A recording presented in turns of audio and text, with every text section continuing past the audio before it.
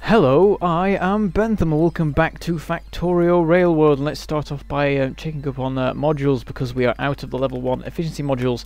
And unfortunately they've all been put into level 2 module production like they often are. So uh, what I'm going to have to do is disconnect those so I can actually get some later on the episode.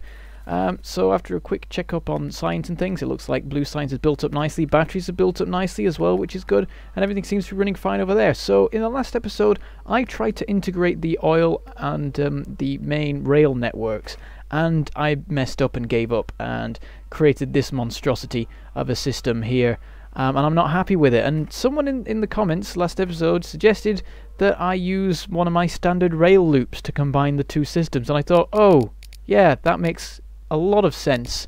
Why didn't I just do that? So today what I decided to do is I'm going to deconstruct all of this mess that I made last episode and I'm going to put in a loop that will hopefully just integrate the two systems nicely and conveniently without any horribleness. So um, what I'm doing here is I'm just getting the lubricant pipes out of the way because I worked out where the rails can go and I want to make sure the pipes do not uh, block any stuff in, involved there.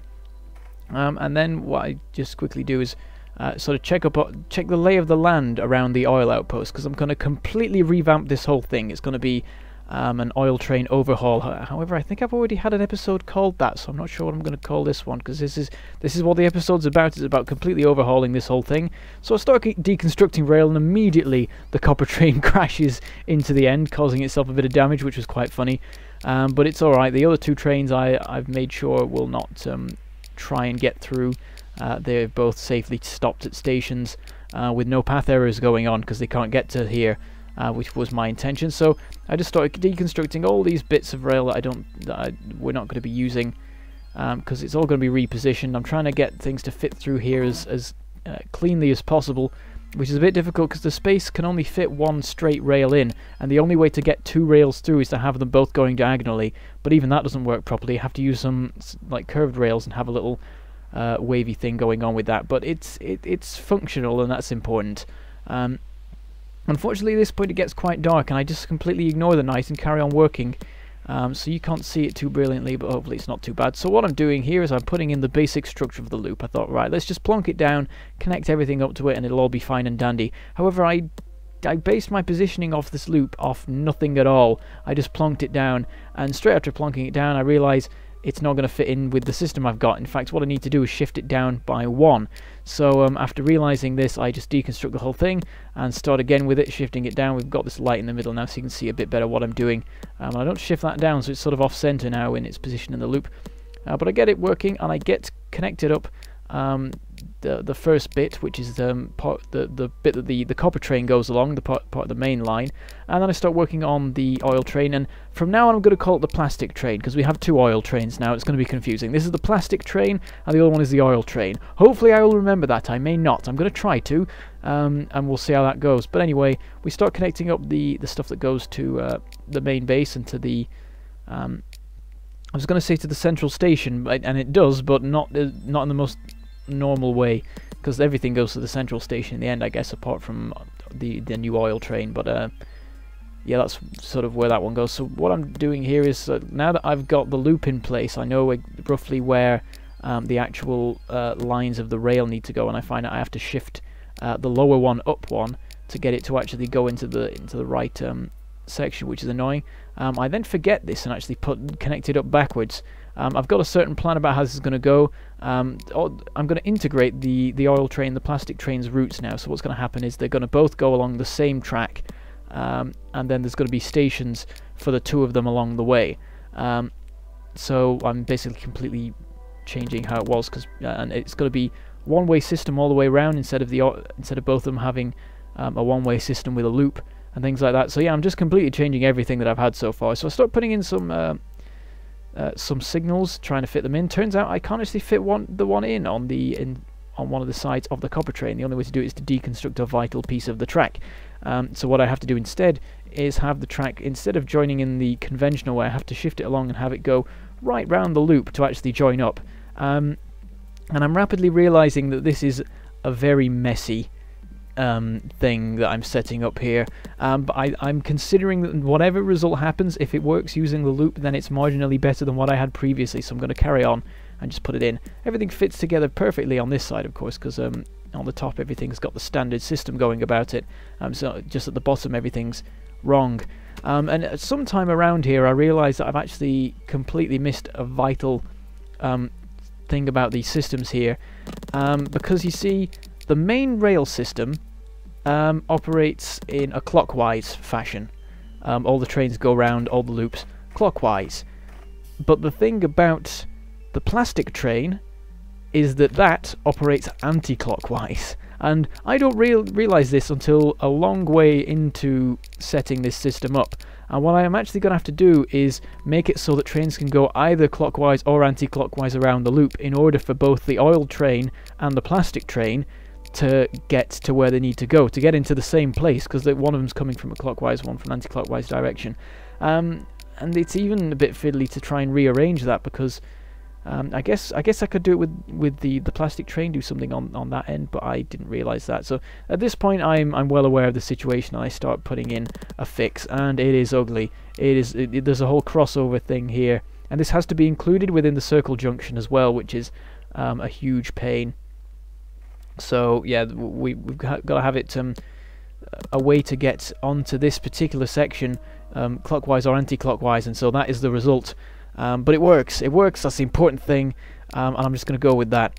Um, there's a lot of sort of parallels between this and tomorrow's um, you know crafting challenge episode, which I've already recorded. Um, there's a lot of setting up systems that look like an absolute nightmare, but function so it's all right.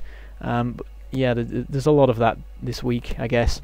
Uh, but anyway, what we're doing now is getting rid of the old loops and such, and we're putting in the, the one-way system. So this all, all, this stuff here can go, which is nice, because the, loops are very sort of bulky and, and get, get in the way a lot. It's nice to get rid of it and just have a bit of a cleaner system. Though we do have a rail go, railway going right between the the plastic and the sulfur production and um, the oil fraction storage now, which is a bit of a pain, but it's alright.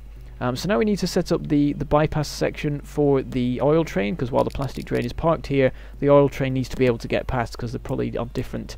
Um, the, the, their um, cycles probably last a different amount of time and so on. So um, it's a pretty simple task really, well, well once I get all the uh, the coal uh, stuff out of the way, it's sort of blocking things a bit. But we get them all, we've got past all that, so there's a basically this well it's interesting because the quicker way is to go the way that the um, the plastic train parks rather than to go around it but it's in case the plastic train is there that's an extra bit that you can go around to just pass by the uh, the plastic train. So at the moment we have the oil train just sort of parked here and we're going to leave that for now it doesn't matter until we actually have the system um, connected up. And the thing is while all this has been going on there has been no plastic or sulfur getting to the the main factory which is quite um, a problem really um, we do need to do something about that. Uh, well, what we need to do is get this system finished, um, get the loop completed, so that we can actually get the the trains moving along it again.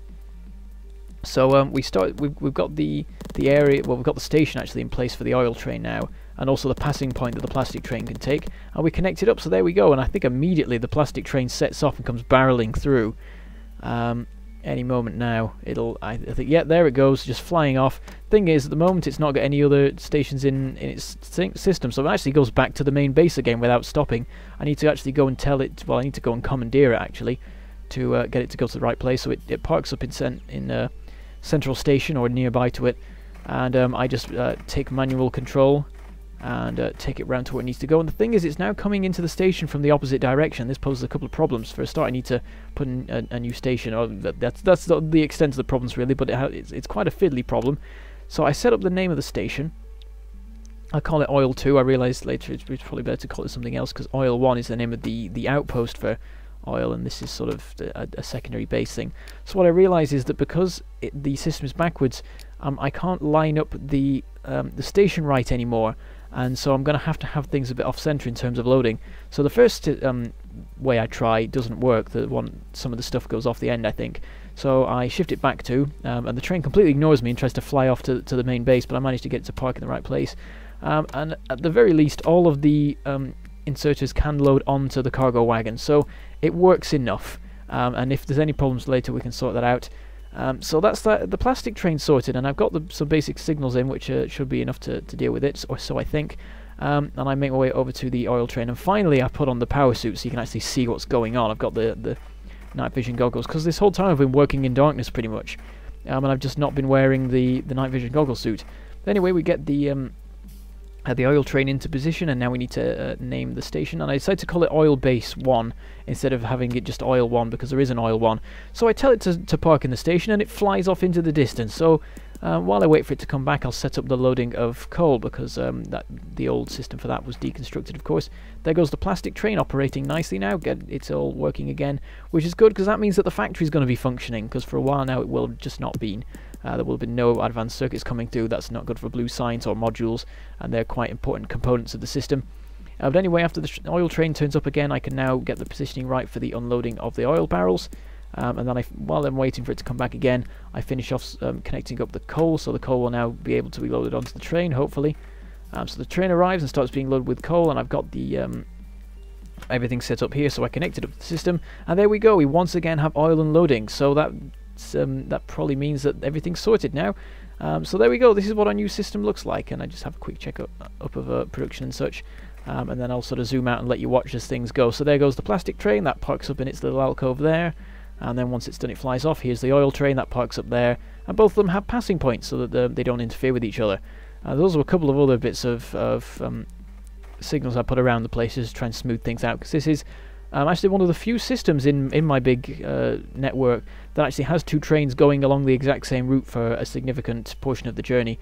Um, well, there's one other place, and I've put the signals in there as well to help um, sort that out. So anyway, back to base where everything's been thrown into disarray because plastic's been shut down for ages. So modules haven't made so much progress, and science was shut down, I think, for a bit, but it's it's um, starting up again. Um, and we finally sorted out the, the oil train, so I can actually get on with something else this episode. That would like we're already most of the way through here. Uh, but anyway, what I'm doing now is I'm sorting out my power suit, and the reason for this is that um, I'm going to be going back around the lake. A few people have been asking me about this. I've said it in the comments, but um, I don't think I've said it in a video yet. I will return to the lake, and I will kill those biters. I will go on a mission, probably in the final episode, to um, circumnavigate the lake for, uh, well, I would say for the second time. I'm going to attempt for the second time, and hopefully for the first time actually manage it. I'm going to be a lot better armed. And what I'm doing right now is I'm making some um, shields, because I think I'm going to need those in my suits more than anything else, really. And maybe some exoskeleton stuff as well. Uh, so anyway, what I'm doing here is I'm setting up some new production systems. There's always more to do um, on this production line um, because what I'm now going to do is start on military stuff uh, um, because there's a lot of equipment that I just never really paid any attention to and I think it's time to employ it because this th this battle that we will eventually um, that will eventually come is going to be the biggest battle I've ever had in, in Factorio I think um, and I want to win this time. So what I'm going to do is start having all sorts of different bits of production going. I'm going to have a huge arsenal of weaponry ready to deal with the biters. So what I've got here is I've got poison and slowdown capsules set up. Um, and I'm going to have, well, I need to get the uh, the coal delivered by logistic bots um, for those. Um, so we get that all set up and they set off and um, start loading up some chests. So we're going to have a stack of those each. Um, I don't know about slowdown capsules. I haven't heard much about those, but poison capsules, people are saying are pretty pretty good, uh, particularly when it comes to dealing with um, bases, because they they're good at just destroying all of the the spawners, and I guess dealing with the the monsters that spawn from them as well, which is quite good. Um, so with that set up, we'll work on the next thing, and what we're going to do is we're going to have grenades, and we're also going to have rockets. I've already built a rocket launcher for myself, and um, now we need to get um, some ammo for it as well as some grenades to help us sort of supplement the explosive capabilities of this. I'm not sure what what is better between the the shotgun and the rocket launcher, but I mean, well, I think generally people prefer the shotgun because it is just sort of the most powerful in terms of damage. Um, but the thing about the rocket launcher is because it's explosive, um, the only limitation is how many biters you can fit in one square, and I'm, I, am sure that's a pretty high number. And the sort of stuff I'm dealing with around the lake um, like there are ridiculously high concentrations of biters and, and spitters following. So I imagine that actually the rocket launcher might be better than, than the shotgun for this particular um, task. Um, so anyway, I'm, I'm just getting everything in position here. I've got to get coal loaded into the uh, coal loaded for the uh, uh, the grenades, and then I need explosives being delivered for the um, the rockets because we've got explosive production all the way on the other side of the production line. It's pretty much as far away as you can be um, from this end, which is no good really. I should try and move it up if I can. I forget what you need for it. I think it's I think it's sulfuric acid and then something else, but I'm not sure what it is. It might be sulfur actually. Uh, but anyway, we, we just have it delivered by logistics bots because it doesn't matter too much about the, the rate at which it's produced because we're going to need this stuff once. We're, we're going to go to the lake and we're either going to win or die. And we're not going to need to come back to resupply, so we don't need to, it to be made fast, we just need it to ma be made by the time we're back. So anyway, I'm doing some weapons testing right now, uh, finding out what they're like, and I quickly um, conclude that the explosive uh, rockets are basically better in every way than the standard ones. I think the standard ones like do more damage to an individual, but the explosive capabilities of the of the explosive ones are just infinitely better. I also do a quick test of the grenade, and they look pretty cool too. So I um I, I approve the production of those. I let them carry on as they are, and I have a, a, look around for some more stuff that I can make. And I spot one more um military thing I can craft. This isn't at this point I'm just doing it because I am going to have this sort of weapons production area of the production line. Um, and what I'm going to do here is make mines. I don't think I'm going to be using these in, in the war against the biters unless there's some really serious battle that like I need pr to prepare for. Like I set up a mini base um, outside of the biter base um, and like defend it with um, mines and things like that. I don't know if we'll get to that point. Um, I'll probably die before then. So I set up some mine production as well. I, I realise now that I actually forgot to put a chest for it, the mines to be unloaded into there, but that's not too much of a problem. And what I decided to do now is um, unleash some more... Unleash? Well, that's a bit um, a bit too much for the, the, what I'm doing. It, it was um, logistics bots. I was releasing some logistics bots into the air um, just to help with the delivery of the um, the explosives and such. Um, I don't know if you, if you if you can really say you're unleashing logistics bots. That's that doesn't make any sense. They're not really weapons. Uh, but anyway, um, we get all that sorted, and I go and check up on modules as well. There's a lot more to. I, I need to gather a lot more because I need uh, um, a bunch more speed modules and things like that. I go and check up on uh, uh, science, and everything's still fine there. We've got infinite um, uh, alien artifacts essentially. But while I'm walking along, I suddenly find that plastic and sulfur are gone. There's none of either of them and this completely stumps me. And I go over to the oil um, outpost and I find out that I've been a complete nonce. And what I've done is I've set up a system where two trains can block each other from from moving onwards. What I had was I had um, a one rail block inside another, and what that meant was that while the train was in the inner one, if one train was trying to get into that block, it would be blocking the outer block, so the train inside couldn't get out. So both of them were just blocking each other, even though they weren't even like facing each other or anything like that. I, I completely messed that up. Uh, but I quickly fix it so that we don't have any sort of problems there again. And then I, I start checking up on the oil and uh, seeing how well the oil builds up um, between visits by the train. Uh, it looks alright, but what I decided to do is just craft um, another stack of, of barrels. There's only 10 for a stack. Um, just to make sure that it, we were fully loaded in, in those terms. Uh, so with that done, um, that off goes the train, and I can go and check out other things. I'm having a quick look over at um, plastic and such, and I decide to um, add in a couple more uh, miners for producing coal. At the moment, only one of them had run out, but there was another one fairly close to running out, so I just built another two more. And then suddenly a biter attack, and it's over in Iron Outpost 2, and this time there's some damage being done. Something just exploded there as well. We've got some destruction going on, and so I just start hightailing it over there as quick as I can. The only thing is, it's as far away as you can get from my base in terms of things I built. So I like I hop on the nearest train that I can that goes in the right direction, Copper Train 2, and then I hop off at the um, at the turn. Um, I damage the train a bit, but it's it's probably fine. And I also managed to damage my shields quite a bit, which unfortunately shuts down my um, exoskeletons for a while. But they quickly get back online, and I start pegging it as quickly as I can up to the outpost. There goes the oil, the iron train as well from there.